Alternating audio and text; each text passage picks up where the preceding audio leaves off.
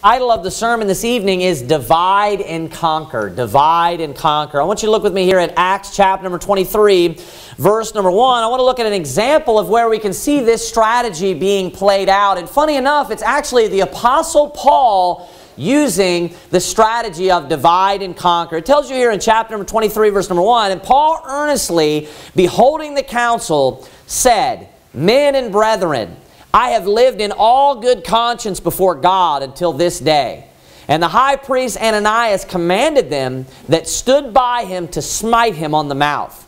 Then said Paul unto him, God shall smite thee, thou whited wall. For sittest thou to judge me after the law, and commandest me to be smitten contrary to the law? And they that stood by said, Revilest thou God's high priest?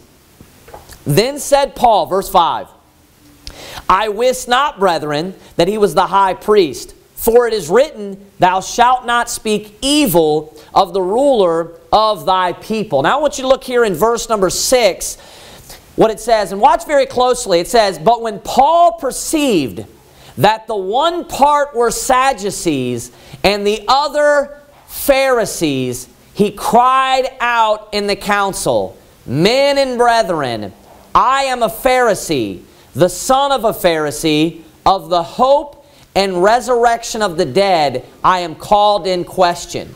Verse 7 And when he had so said, there arose a dissension between the Pharisees and the Sadducees. Now, funny enough, as I said, we find the perfect example. I believe, and I'm going to give you another example here in just a moment. We find the perfect example of this strategy being played out at the hands of the Apostle Paul. Now, what's going on? Of course, Paul had been taken. He has been, you know, uh, uh, uh, you know, taken to prison is what ultimately is going on here. He's put into bonds. He's carried away. There was an argument and a fight that was going on. He's being questioned, and the high priests, of course, are persecuting him for being a Christian ultimately.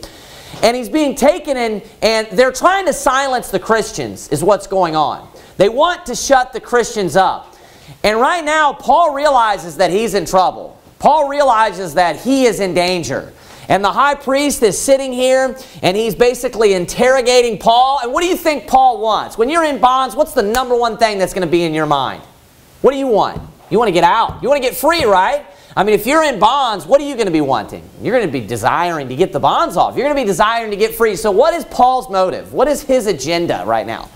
It's to be set free. So what his desire is, is to be set free. Who is his enemies? Who would be his enemies in this case?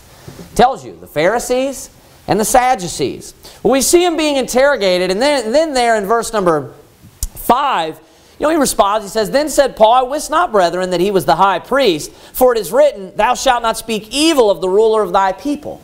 Then it says this, But, it's almost like Paul then, while, maybe while he's speaking, while he's looking around, he notices something. Something occurs to him, and it says, But when Paul perceived that the one part were Sadducees and the other Pharisees, he cried out in the council. Now, we're told something about the Sadducees by the mouth of Jesus in the Gospels. What's something very specific about the Sadducees? They reject the resurrection. Now, the Pharisees, they believe in the resurrection, it tells you. But the Sadducees, they reject the resurrection. And, you know, he looks around and he notices, he's like, oh, these are all Jews that are standing before me. But I notice that they're a little bit different. They're of a different denomination, right? You know, you, you, it's basically like you have the Baptists, right? Baptists wouldn't be Pharisees at all, but you have the people who are accused of that. You have the Baptists you have the Jehovah's Witnesses, right? And you notice like, hey, what's a big difference between these two people? So he looks over the Pharisees and, and the Sadducees. And he realizes there's these two sects here. And he knows a big difference between them. So he does this. Look at what it says. And when Paul perceived that the one part were Sadducees and the other Pharisees, he cried out in the council. So then he says something. He cried out in the council, Men and brethren, I am a Pharisee, the son of a Pharisee. Now, is that true? It's not technically true presently, to be honest. But he was born a Pharisee and was raised a Pharisee in that sense. He says, I am a Pharisee and the son of a Pharisee. And then he says, of the hope of the hope and resurrection of the dead, I am called in question. So he just, he just, you know, spits out while he's right there in the middle of these two people, knowing that one of the major doctrinal differences that the Pharisees and the Sadducees have is one believes in the resurrection and the other does not. He makes sure to make a note of, a, a note of that while he's sitting there and while he's being interrogated. He, he blurts this out and says, hey, do you know the reason why I'm here? Men and brethren, it probably seemed kind of awkward the way in which he brought this up. Men and brethren, you know, I'm a Pharisee. And he says, and for the hope of the resurrection, I am called into question. Now look at what it says next, verse 7. And when he had so said, look at this, there arose a dissension. Now what does that mean? A divide. An argument, right? They're, they're arguing and they're debating with one another between the Pharisees and the Sadducees. And then it even says this, and the multitude was divided. Paul had a goal with that. Paul had a goal with why, why, the whole purpose why he brought that up. It says that he perceived that one was a Pharisee and one was a Sadducee. And he had a goal and he had an agenda to try to do what? To try to divide. Now, he had something that he wanted to get done ultimately. What was his ultimate goal? He wanted to be set free. Keep reading. Verse 8. For the Sadducees say, there is no resurrection, neither angel nor spirit, but the, the Pharisees, I'm sorry, confess both. And there arose a great cry. So there's this, this massive argument, almost like an uproar, where people are fighting amongst one another about this just because Paul said, hey, can you imagine like hundreds of people sitting here. He's being interrogated over in a corner. They're smacking him around and stuff. And then he sees while they're talking to one another, like one group's a Pharisee, one group's a Sadducee. And then he just he just yells out, hey, you know, I'm a Pharisee, the son of a Pharisee, and for the hope of the resurrection is the whole reason why I'm called into question. And then all of a sudden the, the Sadducees are like, hey, we don't believe in the resurrection. Is that why this guy's brought in? He's like, and then the Pharisees are like, what do you mean you don't believe in the resurrection? What are you talking about? You don't know what the scriptures say? And then they just get back and forth and they start arguing. What do you think Paul's doing? He's sitting over here like, yeah, this is perfect. This is exactly what I want. What is his desire? He wants to be set free. He wants to be set free. Do you know what he's employing right now? He's employing the strategy of divide and conquer. That's exactly what's going on. And what took place says, and the multitude was divided. It says the multitude was divided. Look at verse 8. For the Sadducees say there is no resurrection, neither angel nor spirit, but the Pharisees confess both. And there arose a great cry, and the scribes that were of the Pharisees part arose and strove, saying, We find no evil in this man. So saying now they're basically saying, oh, we just, we're on his side. We won't find any evil in this man. And they say, but if a spirit or an angel has spoken to him, let us not fight against God. And it shows what hypocrites they are too, by the way. It's like, oh, maybe an angel talked to him. Why? Because now they have a bigger enemy that they're fighting against. They've totally forgotten about their argument and their problem with Paul. Now who's their beef or their issue with? Now it's with the Sadducees. They're like, maybe a spirit, you know, spoke to him or angel. I'm not going to fight with him. Why? Because I'm going to fight with you. This is this what you see right here is a, a perfect, a playbook example of divide and conquer. It says in verse 10 again, and when there arose a great dissension. That's an argument, a fight, contention. The chief captain, fearing lest Paul should have been pulled in pieces of them, commanded the soldiers to go down and take him by force from among them and to bring him into the castle. To define, I'm going to define for you divide and conquer. If you just type it up on, on Google, this is exactly what you'll get. The policy of maintaining control over one's subordinates or su subjects by encouraging dissent between them. I want you to turn to 2 Samuel chapter number 2. Divide and conquer, it plays out in a few different uh, settings. Uh, divide and conquer is used sometimes in just personal examples. Sometimes it's used, you know, like we saw right there, you know, that, that would be an example within, within uh, different social classes. Obviously, you have leaders there that have taken a man that is subject unto them, and then he kind of reverses the roles on them. And, uh, but as I said, the definition, you know, it, it, uh, the, the typical definition is where people that already have control, they will, they will use, uh, uh, they will employ this particular strategy in order to keep people in subjection unto them. And the point is to encourage dissent. Now, uh, divide and conquer in one sense, you've probably seen this play out in your own household multiple times. And uh, the most common example is with a child. and where a child will try to divide and conquer with his parents. Now, it, you know, there are certain elements of it that are missing in certain cases because it's not exactly the same all the time. But what will a child do if they want something? You know what they'll do is they'll go to one parent and they'll ask the one parent, hey, you know, can I have some ice cream? And, you know, mom says, no, you can't have any ice cream. So you know what they do is, mom and dad are right there, or maybe mom's not with dad right now, and maybe dad walks in the room. Are they going to try to ask dad right now at this point? No. It's not, it's not the exact same example, but this is still a, a, a, a, a, template of of divide and conquer. You know what they would do is they wait for dad to walk away. What do they want? They want that division, that space in between the two. They want them to not be together.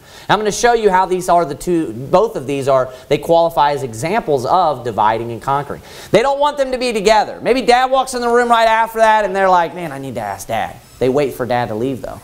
Maybe dad goes out in the garage and they're like, dad, can I get some ice cream? And he's like, sure, son, go ahead. Go get some ice cream. And then the child goes inside and gets ice cream. Now, divide and conquer is also used in warfare. This is a very common strategy when it comes to warfare. I want you to look with me at 2 Samuel. I'll need to get there myself. 2 Samuel chapter number 10. 2 Samuel chapter number 10, we can see one example of this. And there's actually a few examples, but I believe that this is one of the best examples. 2 Samuel chapter number 10, uh, look at verse number 6. It says, When the children of Ammon saw that they stank, let's talk about their reputation, before David, the children of Ammon sent and hired the Syrians of Beth Rehob and the Syrians of Zobah, 20,000 footmen, and of King Maacah, a thousand men, and of Ishtob, 12,000 men. And when David heard of it, he sent Joab and all the host of the mighty men. And the children of Ammon came out and put the battle in array at the entering in of the gate. And the Syrians of Zobah and of Rehob and Ishtob and Maacah were by themselves in the field. When Joab saw that the front of the battle was against him, before, and then it says, and behind, he chose of all the choice men of Israel and put them in array against the Syrians. He says, And the rest of the people he delivered into the hand of Abishai, his brother, that he might put them in array against the children of Ammon. And he said, If the Syrians be too strong for thee, I'm sorry, for me, then thou shalt help me. But if the children of Ammon be too strong for thee, then I will come and help thee. And it says, Be of good courage, and let us play the men for our people and for the cities of our God. And the Lord do that which seemeth thee, I'm sorry, the Lord do, do that which seemeth him good. Now, if you look up divide and conquer, there are, like I said, there are a few different types of situations where this will play out in. If you look up divide and conquer when it comes to warfare, it's a little bit different than that very first example. And what it is, is where you try to segment or you try to compartmentalize groups that you are fighting against. What you do, want to do is you want to partition them. You want to divide them up and you want to handle one at a time. Now, dividing and conquer can, like we saw there, uh, uh, carry the element of when the division occurs, fighting occurs, right? Between those two segments, but not always. You know, sometimes, like I said, within the example of warfare, if you look that up in military strategies and read about that, it's basically just where they'll just come in and they'll just split into two groups. And they'll say, hey, you attack that side, don't let them go together. Why? Because they're stronger together. It's the same concept between the two points. Now, why did Paul want to separate the Pharisees and the Sadducees? What was the reason? Because if they were unified, coming at him, they were strong. But if they were broken apart, and in this case, arguing with one another, that's how he brought this division, was by, to cause them to argue with one another, then they were much weaker. Well, right here, the same thing is going on with the Syrians and with Ammon. See, in this situation, Joab did not want them to all just kind of gang up on him all at the same time. So he said, hey, you know, Joab said in verse number where are we at? With Abishai. Verse number 10 is where he, it, with, it tells you about what he did. It says, And the rest of the people he delivered into the hand of Abishai, his brother, that he might put them in array against the children of Ammon. So he's got the Syrians and, and uh, the, the, the children of Ammon fighting against him. He does not want them unified. He doesn't want them coming together. So what he does is he separates his two groups. This is a perfect example of divide and conquer. He separates his group, his one group, if you will, his one army, unified army, into two groups. And he says, hey, you go that way and I'll go this way. What's the purpose and what's the reason? Divide and conquer. Keep them apart from one another. We don't want these two armies enclosing on us because if they're both fighting against us together at the same time while we're, you know, obviously center right in the middle of them, that's even, you know, worse too at that point. And from before and from behind, we're going to be destroyed. So you say, you know what we need to do? We need to divide them up. So in order to do that, they had to divide up. We're going to have to go get them on this side, and then you know you go get them, the Syrians, on the other side. So this is something that people will employ in warfare. It's something people use on just virtually every social structure, social ranking. You know, you see this in the household, like I said, in the example of where they try to just keep, you know, the parents separate. They'll divide and conquer. They have an agenda, and they can't have them together because if they were both standing there when you said, hey, you know, Mom, can I have ice cream? And Dad heard. What, what are they going to say? The dad's going to be like, no. If they were both together, what would they do? They would have unity, wouldn't they? They would be on the same page. If Dad heard Mom say, hey, you can't have ice cream, what would Dad say? He would say no. But notice they got to make sure Dad's in the other room. They're divided from one another. They're not together. There's not unity there, right? So what's the purpose of the division? The purpose, obviously, is to break the strength that comes with unity. When you are united and when people are brought together, there is a strength that is brought about through that. I want you to turn in your Bibles. I want you to go ahead and turn to Exodus chapter number 18, verse number 21. Exodus chapter number 18, verse number 21. I'm going to give you a couple of points about where this originated, where this came from in the first place. Now, the, the phrase that we use today, divide and conquer, divide and conquer is actually a Latin phrase. And the Latin phrase is, it's divide, I guess it would be divide et impera, I guess is how you would pronounce it with the Latin uh, uh, pronunciation. But really what it means literally is it means divide and rule. It's the same concept. Divide and conquer. And actually where this phrase was found was Julius Caesar is where the phrase is derived from. It's a quote taken from Julius Caesar. And it's speaking about how the Romans would politically control uh, you know, all of their citizens. So this is most commonly known of something that is used in sociology, where within a society, those that will rule over, you know, the underclass, whoever it may be, the elites will rule over their society, they'll rule over their citizens, and they will make sure that they cause division in certain circumstances. Why? They don't want there to be too much unity. They don't want within a society for people to have too much unity. And what's the reason? Because people are stronger that way. And this was something that was employed, in, as I said, in the Roman Empire. It was a very famous tactic that's actually, if you look it up, it's found in a few different writings and mentioned a few different ways that they would practice dividing and conquering. This is a real thing that takes place. And number one, the number one reason why it's dangerous for those that are, you know, let's say within the society, that aren't uh, employing the strategy of dividing and conquering, if you are a victim of it, number one, it's because it ends up consuming all of your time. It ends up consuming all of your time. What do I mean by that? The division always brings about fighting when it's in a, within a society. The division, whatever division that it is, they always bring, a, bring this division about through some sort of fighting, through some, some sort of quarrel within society, some sort of you know, argument, whatever it may be. And it causes people to become obsessed with this issue. Because you know what they need is, just like with the Pharisees and just like with the Sadducees, they need, they need to find something, and these a lot of times it can be artificial differences, but they need to find something that you can become obsessed with that you will be loyal to, a side. They need to find in some way that, a, a, difference between the groups of people that are within their society that they know that you would become loyal to. And once they do that, then all of a sudden you become consumed with this, whatever this you know, difference is, whether it be artificial or not. The manipulative you know, tactics of that don't really matter, but they, they cause you, number one, to become consumed with it. Number two, obviously, it causes people to fight amongst each other. It causes people to fight amongst each other. Now, in recent U.S. politics, this has taken place. And tonight, obviously, I'm not preaching on end times Bible prophecy, but I felt it necessary to bring this up just because it's just one thing after the next that's been taking place. And I've been noticing, you know, just uh, in, you know, I would say particularly in social media, just how even Christian brothers and sisters are just becoming obsessed with this issue. They're becoming consumed with this issue of just all of these different, uh, uh, you know, uh, um, uh, fights or quarrels that are going on. These different, you know, uh, the coronavirus, the racial baiting that's been going on.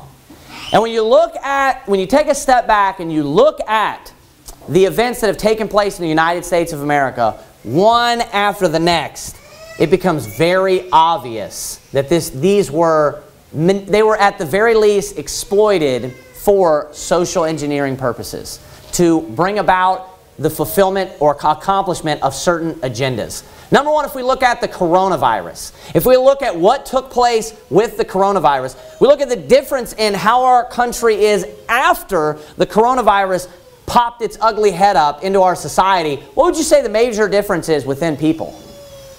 I would say the major difference is that their people are a lot more divided. Because one of the main things that they brought about with this is they brought about fear. They caused everyone to be very, very afraid. And when people are walking around afraid, it's just like the, the stereotypical person that is afraid is just constantly just like, they, they view everything as a threat. Everything around them, they're constantly looking at and they think that it's some sort of threat, something that's going to hurt them. And what people were doing is, if you're not, you know, and, and, and there's so many issues that are tied into it. It, it turned pro-vac, the pro-vaccine, anti-vaccine argument arose again, didn't it? Had people debating and arguing about that. It brings up the argument of whether or not you trust your government. So everybody who's pro-establishment versus those that are anti-establishment, that argument came up again. Everybody's arguing and fighting about, uh, you know, whether you are pro-modern medicine, modern you know, medical community, or whether you're kind of against that and you have you know, alternative methods when it comes to you know, uh, uh, how you view medicine and things along those lines. You know, and then just in general, those that are especially, a big divide is mask or no mask. I mean, how big of an argument has that brought on? What is the purpose? What is the goal? What do you see as the result of when this coronavirus arose in the United States of America? It's one of the, I would say this, that at the end of both of these events, that the country, and I would say that everyone in here would agree with me, that the country, the United States of America, I've lived here my entire life, and I would say, you know, categorically, that the country is more divided today than it has ever been in my lifetime. Would everyone agree with that? Would you say that the country is more divided today? That there's more fighting? That there's more arguing? That people seem more, you know, uh, just suspicious of one another? People are quicker to bite each other's heads off. People are quicker to fight and argue and bicker about things than they were before. So who wins, ultimately? And you type of see this. Exactly. The politicians those that are in power. Who wins in this type of situation? Then you see the coronavirus die down, and almost immediately, immediately, a national crisis arose once again with what? Racial baiting. Now, if you, if you look at everything that took place with just the George Floyd situation, everything that happened with George Floyd, if you look at that situation, it is literally, it is like the, uh, you know, so much of this is. It is literally like the perfect, the perfect scenario that you would expect a politician to try to employ or use in order to divide and conquer. If you look at the United States of America, what, what history does the United States of America have? Obviously, we have racial tension issue with slavery being there and other countries jumping on the bandwagon to attack America and things. There's racial, there's racial tension in the past in the fight for, for rights and things like that when it comes to race, isn't there? That's a fact in the United States of America. Now, I don't, I don't believe that there is systemic racism today or anything like that, but as far as the history of the United States of America, that's still there. We're taught this in school. You're, you're, you're, you're, you're fed this stuff about all the racial fights and things like that and racial you know, uh, uh, uh, uh wars and, and all of this type of stuff. Why wouldn't it make perfect sense that if the politicians, the people that are in power, if they wanted to divide America, what angle would they go at? What part of the United States of America would they attack? Race. When you look at what took place with, with the racial wars and all of the racial fightings and all of that stuff, what do you think the outcome of that was? And I want you to look at things that came from the news media. I want you to look at things that came from the media outlets.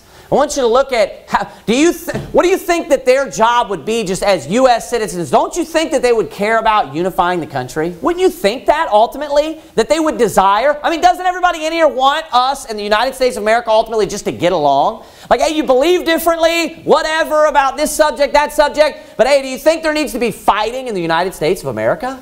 Of course not. People need to be destroying things and hating one another. Of course not. Does it seem like the media has that type of attitude? Of course, they do not have that type of attitude. Not even close. It's very, very obvious that everything that's coming out of the news and everything that's coming out of the media is meant is meant to to you know foment racial tension and racial fighting and division with one another. For what reason? What's the purpose? Why do you want people to be divided? Why would they think about that? Why would they constantly be putting out all of these different articles, all of these different stories, just to cause people just to fight in, in, in you know, on Facebook threads, to fight in comments, just to become more angry and more divided? Where would that be coming from? It would be coming from those that have certain agendas that they want to get fulfilled. It would be coming from those that are intentionally trying to divide people in order to conquer them in some area, that they have an agenda or something that they want to accomplish. Now, as Christians, one thing that I have noticed even more so, and I almost even fell into this at one point, and I know we've discussed this just amongst us personally a few times. As Christians, you know, one thing that we need to make sure that we do is we keep our, our, our you know, mind on spiritual things and on spiritual wars and on the Bible. And hey, there are dark forces and they can be involved and they're often involved in high places. But I've noticed more so than ever that Christians have been being pulled into these political arguments, these racial arguments, these, you know, uh, uh, you know, left, right debates that have been going on. And even those that I would say that would be a part of like the truth movement, when it comes to these issues, I've noticed that even those people have been kind of drug into one of the two positions of this, you know, uh, uh, this, you know, false dichotomy of right versus left that we have in the United States of America. And that's exactly what they want to do. What they want to do is they want to bring about this specific fight, this specific divide where they force you to either fall into their mold of slot one or slot two. And many people that are aware of this false dichotomy, you know, when it comes to politics and that how they're both actually the same, I've seen so many people basically kind of backpedal into that position where they're supporting. You know, my job is not to get you to not be a Republican. That's not what I'm saying right now at all. And I'll get to why it's important here in just a minute. But I've seen people backpedal into this position where they're almost, you know, just supporting the Republican platform. And I'll talk to you why that's dangerous in just a minute. Where they're just, they're, they're all on board with every type of conservatism and, and Republicans and neo-Republicans and all of that. People that are, were aware to the lies, people that were aware that the politics is all just a game and it's not real and that they're playing you and even, you know, and, and, a lot of these people have just jumped on what's considered the Trump train and things like that. And people that went to this church have done that. And this, you know, what is the purpose of it and when did it come about? I want you to think about that because you think, oh, it's not that different. People are being manipulated and it's changing people's lives in multiple different ways. What's the purpose of coronavirus? And then right after that, race wars. And I want you to look at how the, that brings about this fight. It's, you're either pro-police or you're Black Lives Matter. And they're like, pick one. You have to fall into one of these categories. You're either far right Republican or whatever, you know, mm, you know, re just Republican, or you're Democrat. You know, and you say, why does it matter? What's the difference? You know, what's the difference between the two? And people that are not aware of all of these differences, people that are not aware of, you know, what's really going on behind the scenes and what the people really actually believe, you know, like Donald Trump, for example, he's been someone that, even to me, he almost kind of deceived me because he speaks the right, he speaks the right way. Now, what, what, are, what are politicians known for? Politicians are known for talking the talk, but not walking the walk. And I would say that Donald Trump is the perfect, he's the best example of that in a very long time. Even people that are a part of the truth movement, and we're aware to all of these lies and stuff that are going on in the government, all the wicked things that are going on in the government, many of those people have even jumped on the Trump train. Many of those people have even jumped behind Donald Trump and supported this guy. Why should we not be supporting someone like Donald Trump or allowing that to, to categorize us? And this is why it's dangerous because many people today, they're even more so, they're Republican before they're Christian. And they allow their, they allow their Republican views to decide their Christianity, oftentimes. Donald Trump, his entire life, voted pro-abortion. His whole entire life. His whole life, Donald Trump was what voted for abortion. Even post-birth abortion, he voted for. And then the guy supposedly has a change of heart right when he runs on the Republican platform. And now he's pro-life. But I don't know if you're aware of this, and I actually have the stats that I printed off right here, that Donald Trump, since Planned Parent, since Donald Trump has been in office, he has supported Planned Parenthood by $23 million more than any president prior to him. 23. We're talking about abortion right now. $23 million more than, in, than it was Barack Obama was who had supported Planned Parenthood prior. Donald Trump, when he ran for president, there's multiple pictures of this guy holding up the rainbow flag. It says, even this is just openly LGBTQ for Trump is what it says. He's said multiple times, I've done more for, you know, the LGBT community than any other, you know, person that's been prior to me. Any, any president that's ever ran before me. And even if you just want to look at basic freedoms, the outside of necessarily things that are should be, you know, the main important issues to us in Christianity, I mean, look at things like the red flag law that he passed. You think that's in support of freedoms and protecting your right to protect yourself? Not even close. Are you kidding me? What a joke. And I've seen so many Christians that, you know, have, have been opposed to and preaching against. And, and hey, you say, oh, I don't think you should mix politics with this type of stuff. Jesus did. John the Baptist did. John the Baptist was beheaded for preaching against the politicians of his day and their evil and their wickedness. See, I don't think that these things should be mixed. No, the, this is why it matters because the politicians of the day of where you live, they have a big influence on you to the point where they can, they can persuade your beliefs, they can persuade your, the way you live, they can cause you to completely change how you are. They can take a Christian who's fundamental, who's serving God, and turn him into a liberal. And not even know it and still think that he's a conservative, calling himself a conservative. I want you to look at Exodus chapter number 18. People, Christians oftentimes, that's what I'm talking about, Christians oftentimes will, you know, they'll often say, hey, well, when I'm voting for, and you point out these things about like Donald Trump or whoever it is, and you, and you point out all this evil stuff that they'll do, and they'll say one thing and do something else, they'll oftentimes say, well, I'm not voting for a spiritual leader or a pastor, I'm voting for a president. Well, the Bible gives you qualifications for what a, a, an actual leader of a nation should do or what a judge should be. Look at Exodus chapter number 18, verse number 21. Exodus chapter number 18, verse number 21, it says this Moreover, thou shalt provide out of all the people able men. And then it says this such as fear God, men of truth, hating covetousness, and place such over them to be rulers of thousands and rulers of hundreds, rulers of fifties, and rulers of tens. According to the Bible, when someone's going to be set into a position of rulership, of leadership, this would be the qualifications of those people. This is, this is what would make a good leader. Obviously, you need to be a just man. It says you need to fear God. And notice something that's very, very important. It says you need to hate covetousness.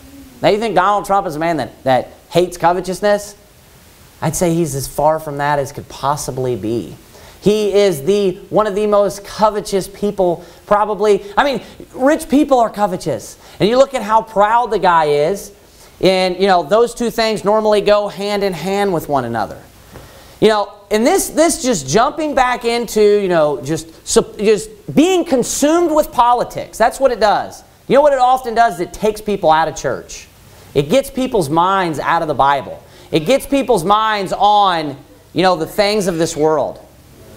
I want you to turn to Colossians chapter number 3, and I want to end there. So this, this evening's sermon is very different style than usual. It's just something that's been on my mind, something that I've noticed and has been bothering me. And I think it's very important that we, you know, bring attention to this in our own Christian lives. Satan obviously is behind the conquering and the dividing. And you know what he, he ultimately wants to do is he wants to he wants to pit people against one another. He wants to you know have people you know you know you know uh, uh, uh just fighting with one another. You know what he wants to do is he likes to split churches. He likes to cause people to fight.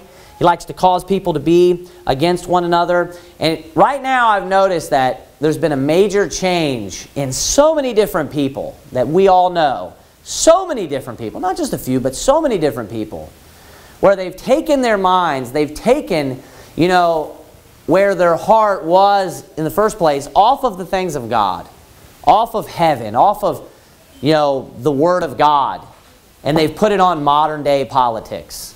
They've put it on modern day events. I'm not saying there's not a time and place to talk about these things. I talk about them and I'm interested in them to a degree. But that's not where my heart is. That's not where I'm going to spend my time. This world will be gone one day. This world will be burned up one day, and all that will be left is the things that are eternal. And that's all that's going to matter at that point. You're not going to be worried about, you know, who was president in this year or that year or whatever. Look at Colossians chapter number 3, verse number 2. I want to end with this. Look, we'll read verse 1 first. If ye then be risen with Christ, seek those things which are above, where Christ sitteth on the right hand of God. Set your affection on things above, not on things on the earth. Now why? For ye are dead, and your life is hid with Christ in God. When Christ, who is our life, shall appear, then shall ye also appear with him in glory. We as Christians, we need to set our affections on things above. We need to stay that make sure that we are spiritually minded. We need, we need to make sure that we're not becoming obsessed with all of these different issues. And this divide and conquer, I've noticed that when this took place, that when all this division took place, a lot of different people just fell into one of those two slots. They just fell. They just went after, like we were saying the other day, one of those two wings. They just picked one of those. They fell to the closest slot that they felt like they fit into. That's what they did. You know, the police issue. They'll try. They try. They try to bring a divide with that. You got to pick a side. It's Republican, Democrat. You got to pick a side. And you think, oh, these are pol political issues. Ultimately, at the core of them, they're moral issues. When you really look deep down, there's moral issues that are involved in there. And we need to, we need to use the Bible as our standard. And we need to, we need to have an authority. And this Republican Democrat, this political divide, whatever it is, whatever it is. You know, even if you say, hey, I'm a libertarian constitutionalist, I don't agree with everything libertarians believe. I don't agree with every single thing a constitutionalist believes. I'm still going to disagree with them on certain things. Because that party, or whatever it may be, or that person, whoever it may be, that I support, is not my authority. The Bible is my authority. That's the point that I want to get across to you. The Bible should be your authority. This should be your judge of what right and wrong is and what you should believe. You have to have an authority. If you don't, you're going to be tossed to and fro. Keep yourself spiritually minded. Keep your nose in this book. Keep your mind on things that are above as opposed to those the, the things that are on the earth. Now, I realize this is a very different style sermon. But I'm sure that everyone understands why this particular sermon would have been preached after just looking around over the past month and seeing all different changes in so many different people. So make sure that, you know, that what your life is being consumed with and the things that you are doing are things that are spiritual and things that are eternal. Let's bow our heads and have a word of prayer. Dear Heavenly Father God, we thank you so much for your word. We thank you that we have an authority that we can hang our hat on and, and uh, not be uh, uh, confused and just sifting through, you know, uh, all the garbage just to, you know, lean upon our own understanding and, and uh, be so confused, dear Lord. We love you so much. We thank you for everything that you've done for us. We ask you to bless us, bless our church, and uh, we, we ask you to bless all the prayer requests, dear Lord, that have been brought forward. And just be with us and bless the church this evening. In Jesus Christ's name, amen.